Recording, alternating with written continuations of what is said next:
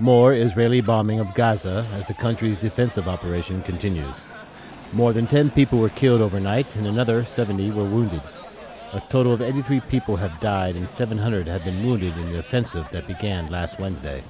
The Israeli army said it attacked 80 terrorist targets, among them rocket launch sites, tunnels, and military training bases.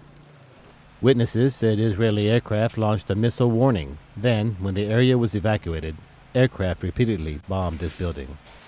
Among those killed was a four year old boy. According to Hamas, half of those killed have been civilians. The Israeli army has launched 1,350 attacks on Gaza since the offensive began. The militias in Gaza have fired 900 rockets into Israel, one of which killed three Israelis.